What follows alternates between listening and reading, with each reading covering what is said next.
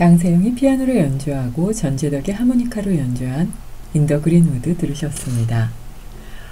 어, 이거 재밌는데요. 그러니까 한번 열심히 수행한 거는 길이 길이 남아서 이제 그 상태로 다시 돌아가지 않고 거기서부터 다시 시작한다 이렇게 말씀하셨는데 책의 첫 부분에 진흙에서 넘어지면 진흙에서 일어나야 되고 대리석에서 넘어지면 대리석 바닥에서 일어나게 된다. 그걸 피할 수는 없다고 몇번 말씀해 주셨던 그 내용과 맞닿아 있지 않은가 싶습니다. 그러니까 한 생에서 금욕주의를 열심히 수행한 사람은 다음 생에서는 빠르게 궁극의 깨달음의 경지에 도달하게 된다고 하셨는데요. 그런 사람들이 요가 수업에 오면 요가 선생님들은 흥분할 정도로 좋아한다고 하셨죠.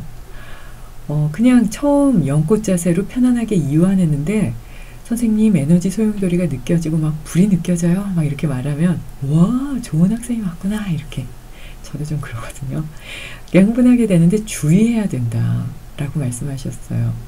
그러니까 이렇게 그 수아미지나 스승을 만나면 이게 정말 수행이고 아니야라고 구분할 수 있지만 책이나 누군가의 말을 듣고 나도 그런 거 아니야 이러면 그거는 위험할 수 있다고 말씀하시면서 부탁께서도 그런 과도한 수행 망상에 들어서는 안 된다 라고 어, 가르침을 주셨다는 말씀까지 전해주셨습니다.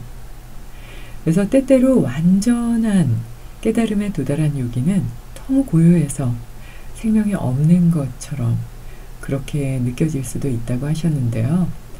어, 이렇게 무한한 세계에 들어가서 고요 히 있는 분들의 모습을 보면서 이것이 진정한 요가의 길이구나라고 다시 한번 생각하게 되는 그런 계기가 된 것 같아요.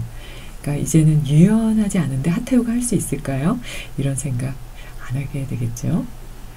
그래서 그냥 방법은 방법일 뿐 수단에 집착하게 되는 건 그건 어른 한 조각을 얻기 위해서 바닷물 전체를 퍼내는 그런 어리석음이라고 하셨으니까요. 정확하게 보고 바르게 갈 수 있도록 주의 깊게 그리고 겸허하게 세심히 잘 살피면서 나아가야겠습니다. 라디오 힐링 요가 시간입니다. 오늘은 좀 좋아하실 만한 거 준비했는데 좋아해 주셨으면 좋겠는데요. 아무것도 안 해도 되는 거예요. 요가 니드라. 그러니까 이게 뭔가 마음 심리적, 정신적인 완전히 이완하는 그런 방법인데요.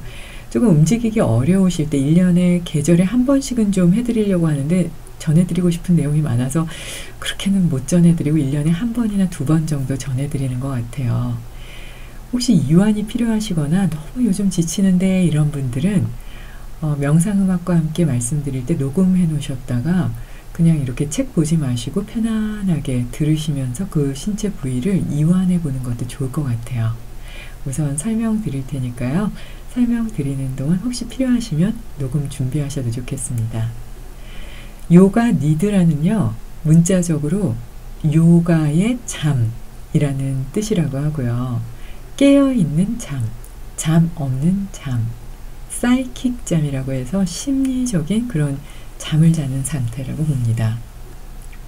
근데 이거는 그 어떤 이완법보다 아주 깊게 이완할 수 있는 그런 상태면서 또 아주 밝게 깨어 있을 수 있는 각성할 수 있는 그런 상태이기 때문에 처음에 이게 고전 요가부터 나온 건 아니고요. 중간에 수암이 사띠아난다라는 분이 당신이 경험한 것이 워낙 좋은 효과가 있으니까 이거를 체계화 시켰다고 해요. 그래서 한시간의 요가 니드라가 네시간의 수면과 같은 효과를 가진다고 말씀하시면서 당신은 새벽에 일어나서 그냥 어, 만트라 수행을 안 했는데 어린 아이들이 만트라 수행하는 걸 그냥 이렇게 약간 잠결에 들었더니 나중에 보지도 않았던 책들이 쫙 읽어졌는데 보니까 그때 약간 이완하고 잠이 깰랑말랑 할 때 들었던 그 소리가 뇌에 박혔더라. 이 말씀을 하시면서 이제 이 좋은 면들을 찾고 그것을 많은 사람에게 나누어 주신 그런 형태거든요. 그래서 잠을 아주 많이 자도 피곤하다 하는 분들은 오히려 잠을 자려고 하지 마시고 오늘 말씀드리는 니드라를 통해서 의식적으로 잠보다 더 깊은 그런 이완을 해보셔도 좋을 것 같아요. 그래서 이게 조금 더 깊게 들어가면 신체 부위별로 이렇게 만트라를 하는 게 있어서요. 엄지손가락, 손바닥, 손등 뭐 이렇게 해서 그 만트라가 쭉 있을 정도로 인도에서는 아주 좋은 수행법으로 전해집니다. 그러니까 우선은 고요히 누워야 되고요. 어떤 일이 일어나든 어, 그대로 나는 받아들이겠다라고 하지만 잠은 자서는 안 된다 하는 의지를 세워야 된다고 봐요. 그래서 니들 할 때는 절대 잠을 안 자겠다 하는 의지를 굳게 세우고 그 의지가 굳건해지면 그때 이제 이완을 시작합니다. 그리고 명상을 시작하는 그 중간에도 도중에 잠들지 않겠다라고 또다시 거듭 되새겨야 된다는 내용이 한 두세 페이지 전해지니까 이게 핵심이 될 수도 있겠죠. 그러니까 의식이 사라지면 이완을 어떻게 해야 될지 방법을 알 수가 없잖아요. 근데 이완하게 되면 체온이 내려가니까 냉해지지 않도록 바닥을 좀 푹신하게 그리고 또 위에 덮을 수 있는 담요나 쿠션을 준비하는 것도 좋고요. 주변을 조용하게 하고 너무 밝게 또는 지나치게 어둡게 하지 않은 약간 어둑한 그런 상태가 도움이 된다고 봅니다. 조이지 않은 옷을 입고요. 저녁 시간에 편안하게 방해받지 않을 때 해보면 좋은 그런 방법인데요.